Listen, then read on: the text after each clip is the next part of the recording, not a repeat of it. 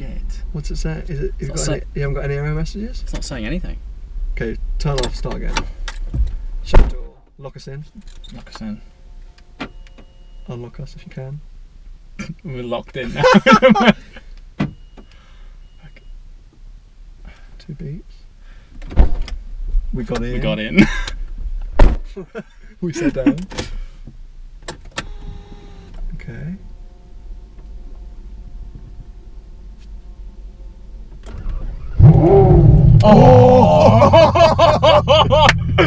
I've never had that happen before. Whoa, what was that?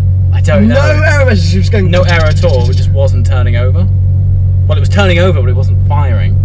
Something? Do you have a tracker or something? Like an immobilizer? Yeah, but it's on the key. securely on the securely on the key. How appropriate for a living with video.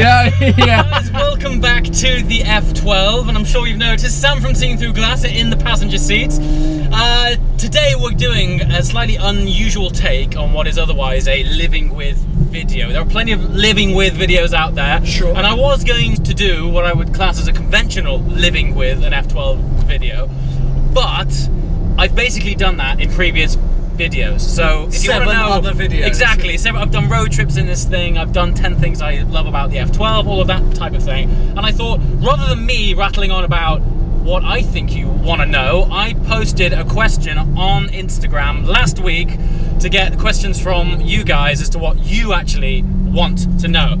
And in typical Instagram style, we had over 210 questions. So thank you for that. Brilliant. But um, Sam is going to be quizmaster again, Yep. as per our Q and A. the questions loaded. and he's going to pull them out at random. I have no idea what questions he's going to ask. Um, yeah, and we're going to get an insight into what you guys want to know about this car. The reason it came about as well is because I've recently done 10,000 miles in this F12, and it's not every day that someone gets that much experience in a Ferrari F12. No. Yeah, so I think we're in a good position to give honest feedback on what it's like living with an F12. Over to you, Sam. Yeah, yeah. Well, you are. I'm not. Well, sure. I have no Although, idea. but- interestingly, you've spent some time around it. You've Yeah. been in it. Oh, We've been oh, to the you know Evo? Triangle together. I forgot my Ferrari hat. Mate, letting the side down. Ferrari. Ferrari, Oh, fanboy. Such a Yeah. fanboy. Right, yeah, so over to me. So I'm Quizmaster Central. Yes. I'm going to throw your audience's questions at you and All right. then maybe chuck in some unexpected ones as well. Fire away, man. By all means. Do you want me to tell you who asked it? Yeah, I think it's nice to know. It's nice. It's nice to read out those complicated names that mean no sense at all. Yeah, you, you just want me to just struggle with this. The first question is going to be from Danstagram96. Danstagram. Solid. Let's See what you did there, Dan. How much does a tank of fuel cost and how many miles does it get you? So the tank is a decent size because it's a GT car. So with high octane and high octane in England's 97, so it's Sure. not that high octane. Uh, from empty, you're looking uh, just under 100 pounds. Okay. Um, and how much you get out of it very much depends on how you drive it. Of so course, as any any as range. anything, but say on a long run like we did when we drove down to Monaco, you Yeah. could get 380 miles Okay. out of a tank Okay. obviously doesn't sound great for 100 pounds No, yeah. but this is a v12 and it drinks with two straws But also, can I say that my Jag, Yeah. uh, 5 litre V8, Mm. does 80 quid and 350 miles. Okay so, So, not that not- not it's horrific. not horrendous. Or the, Um, or the Jag is horrendous. all the drag is is terrible. Um, but again and i'm likening this to events that the experiences we both shared. When we drove t- to the alps and had that amazing driving day uh, it was sort of averaging nine. And i got about 120 miles out of the tank. So it very much depends on how you're driving the car Sure, so okay. spiritedly terrible, Terrible. on a run acceptable Excellent chance. right, next question. Uh, RKP underscore automotive. What other modifications are you thinking about adding to it? Because you've lived with it with the IP for how long? uh, since i got it Since you 12 got it? months 12 months. 12 months. Would you change anything else? Um, up until lately, I would have said no, but having driven the Novitec N-Largo, Yeah. Uh, and this already has an upgraded exhaust on it. So people who might be watching this for the first time, this has an IP Innotech exhaust system on it, and it's fabulous. But I drove an N-Largo, which has a full Novitec system on it, and I would be inclined to go the full step. Not necessarily Novitec, because I already Okay. have the half system on this that's already been paid for. Sure. So I could go the other half, Just and it would be similar. Yeah, yeah, yeah. Uh, so potentially go full bore exhaust upgrade, and I also want to drop the ride height by about 20 mil Interesting. because okay. it does. I mean, it is for practicality reasons. Like it is more of a GT car, Sure. but it, it sometimes for me aesthetically it rides a bit high, and Yeah. I drop it about about a lot of 20 Ferraris mil. do that, don't they? They They're do do that. I don't know what it is. is. I remember there was something going around on Instagram when people were getting speciales. They were wearing "Mind the Gap" t-shirts uh, because the uh, ride height on those are standard a bit high. So yeah, exhaust maybe the next step. Drop it 20 mil. Okay, nice. You know.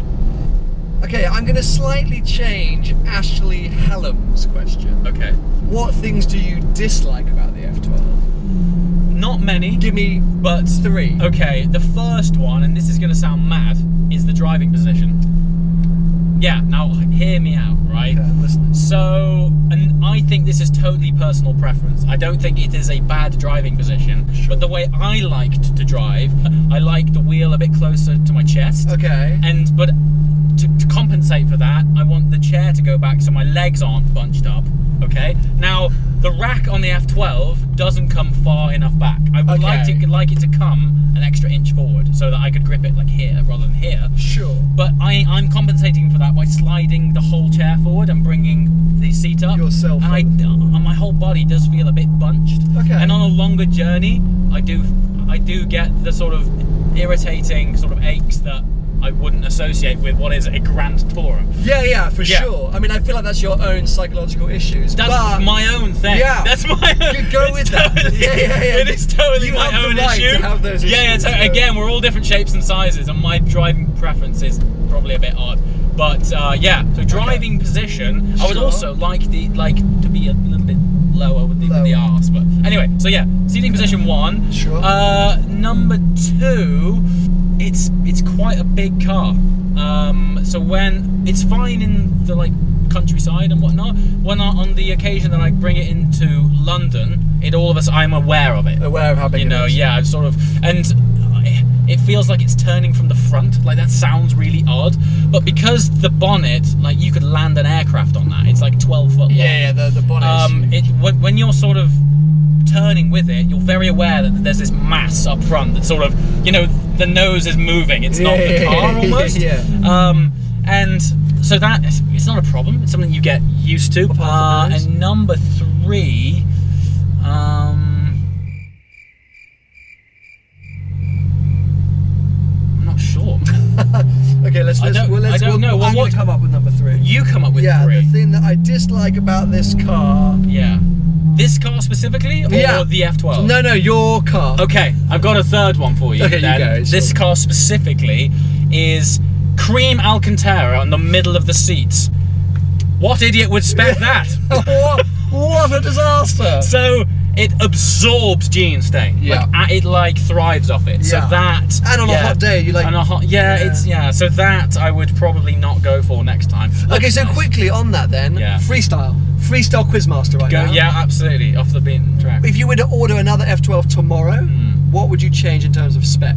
Well, these two things tie into each other. Driving position, I'd go sports seats instead of like Daytona touring seats. Okay. and I wouldn't have Alcantara in the middle unless the the whole color was was black. Ah, interestingly, Yeah. in relation to the beginning of this video, Yeah. VP VP Kenneth has asked, "How did you experience the reliability of the F12 so far, engine electronics wise?"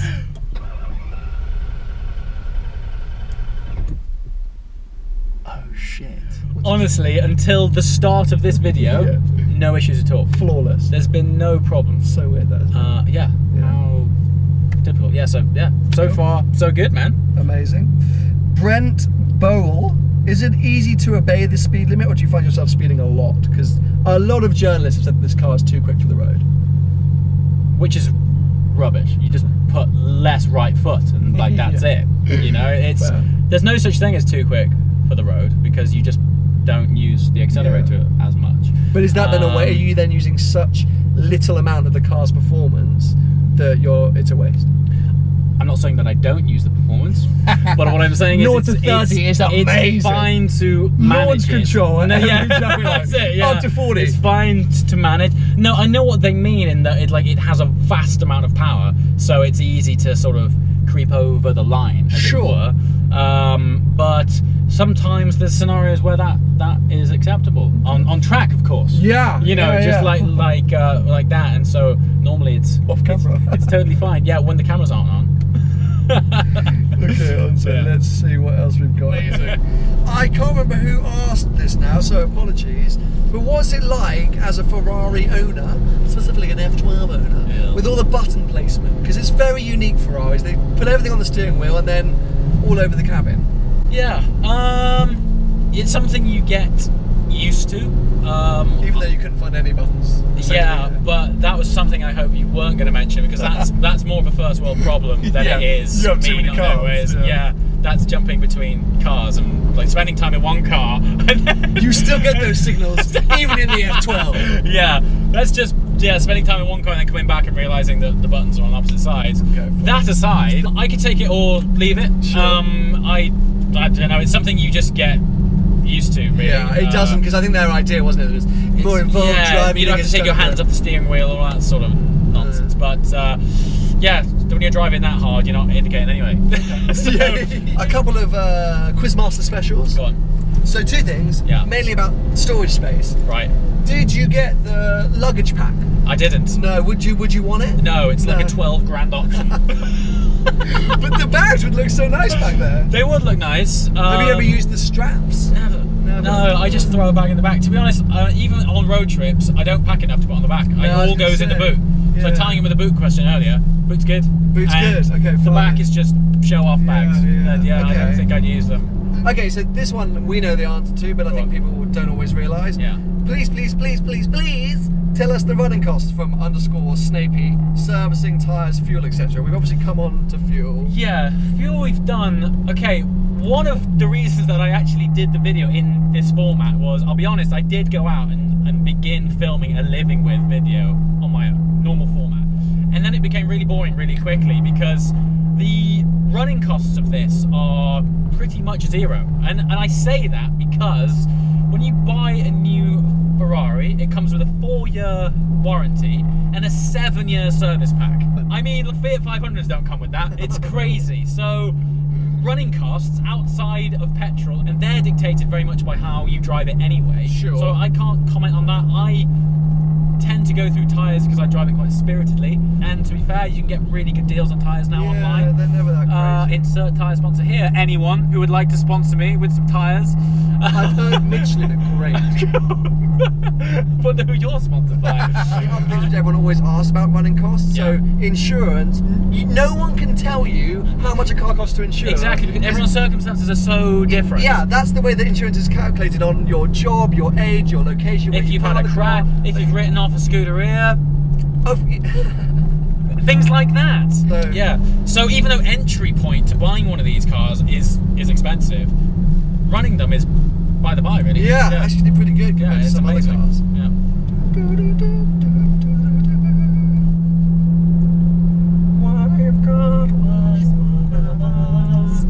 Where'd that come from? I don't know, mate. I No. just I felt it. You just- yeah. Just really Do you ever? It happens to me in the shower.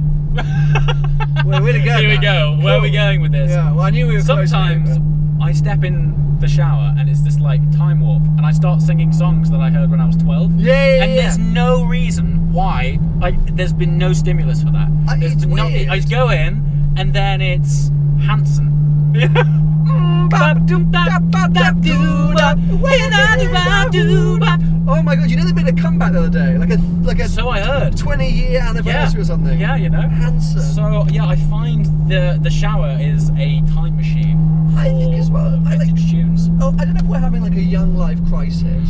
I've really got back into WWF wrestling recently.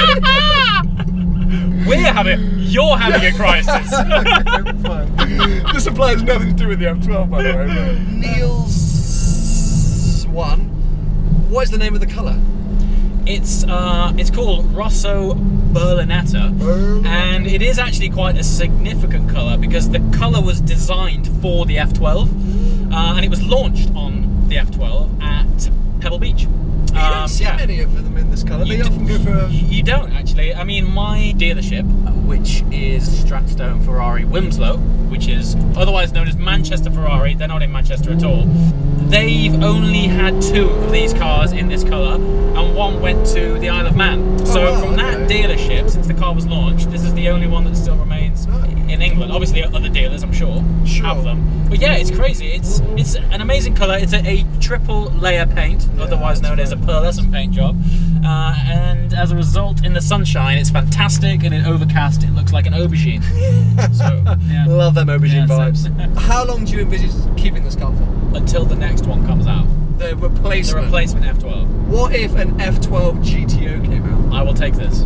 I will, I will take the F12 GTO. Okay. If they were to do a more hardcore Yeah, another TDF, level above the two. like as, uh, like an F12 GTO Speciale, yeah, a Aperta. then I'd take this. Yeah, absolutely. Yeah, for sure. You get on that straight Definitely. away. Okay, yeah. fine. Yeah. As always, thank you for watching. Uh, if there is any other questions that you have about anything, uh, Text me. Yeah.